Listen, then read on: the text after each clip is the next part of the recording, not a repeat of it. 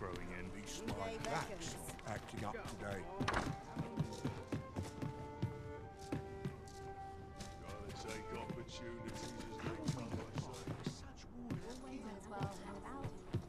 I'm very brownish.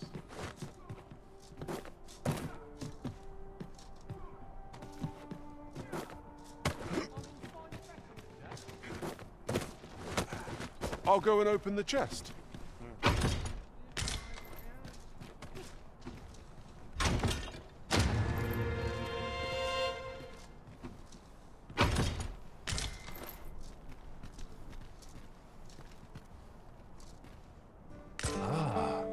Now here's a surprise.